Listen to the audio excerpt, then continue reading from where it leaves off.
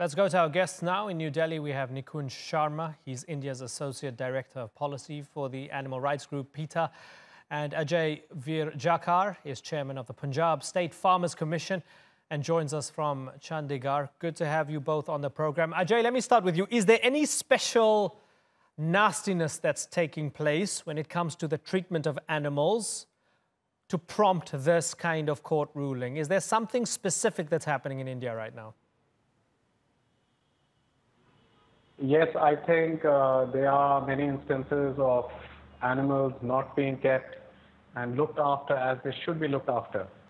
Yes, definitely there are instances that you get to read about and see from time to time. So do you accept Justice Rajiv Sharma's approach to this then? Well, I think uh, it's good to have a law which tells you that you have to look after animals and they have their rights. And uh, yes, definitely there's a there's, there's scope for increasing awareness amongst people on how animals should be looked after. Right. Nikunj Sharma, without getting into a big discussion about semantics, the fact that the ruling says that animals should have human rights, isn't that going to alienate some people and make them feel this, this ruling is a bit strange? Uh, well, uh, we welcome this ruling because it uh, gives legal right. It makes animals as you know of all members of animal kingdom as legal entities, and uh, we appreciate it. And it's a wonderful step, I would say, to start with. Uh, it, uh, the, this particular judgment also places a uh, you know moral responsibility on the citizens as well by making them uh, the parents uh, in place for these animals of that particular state.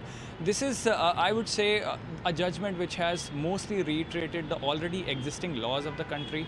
If you read the judgment, the judgment also talks about some of the major landmark judgments right. in animal welfare in India. A judgment like A. Nagaraj versus Union of India, which banned the use of uh, bulls for events like Jallikattu, bull races and bullfights.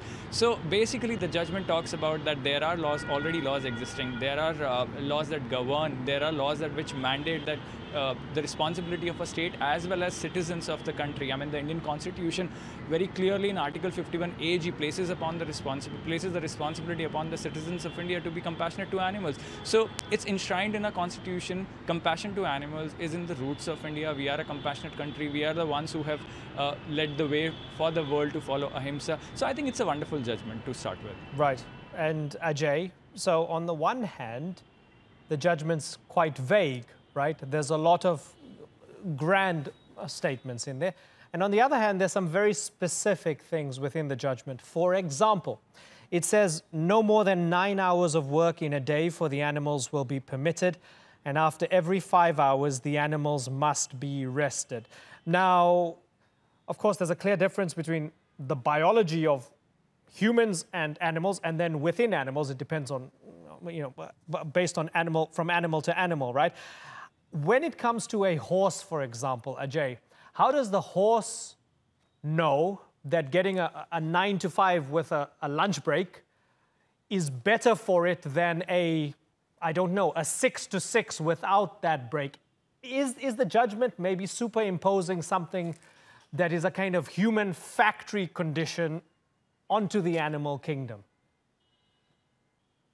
I think uh, it's more important. I don't know how humans will know what is better for the horse. Forget what for the horse knows what is better for the horse.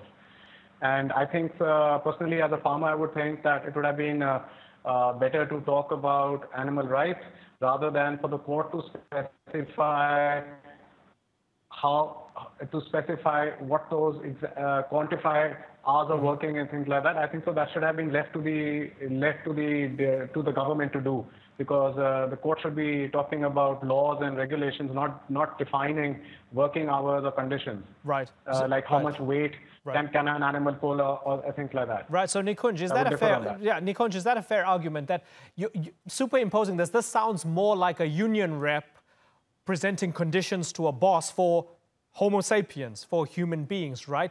Nine hours of work. Who's to say 14 isn't good for a horse and it, it won't find that intolerable?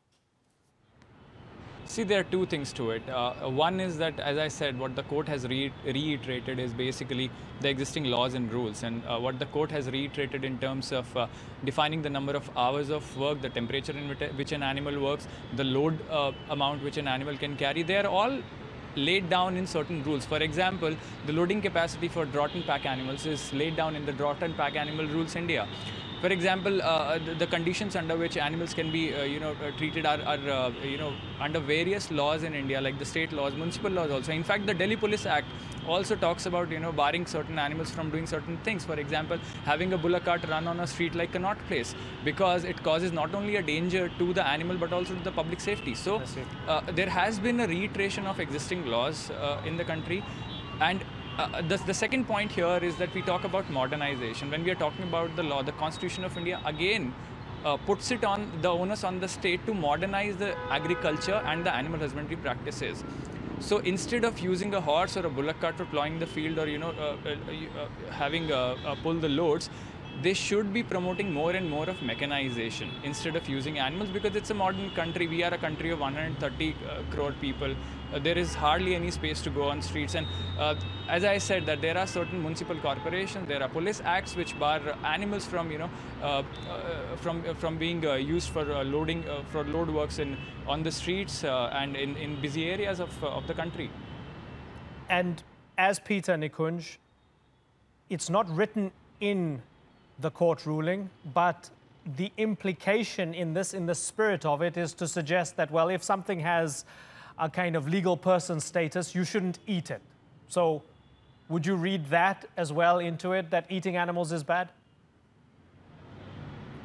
See, that's where uh, this judgment, as I said, that it's a reiteration of uh, the existing laws because it, it, nowhere says it still misses out on the fact that animals are being eaten. They are being used for performances in circuses, in, in zoos, for rides. So these are the areas which are still being left. But yes, as I said, there are regulations. For example, the Prevention of Cruelty to Animals Act very categorically says that uh, no unnecessary pain or suffering should be caused to animals because there is an exception uh, for animals to be used for food. But it also says that stunning should be mandatory in all slaughterhouses. There are slaughterhouse rules which say that. But despite the fact there are rules, they are not being followed. I think the court judgment should uh, has focused and should also, you know, uh, the state government should also focus on the implementation part of it. Ajay and Nikunj. Okay, great. Good to have you both on the program. Talk to you soon.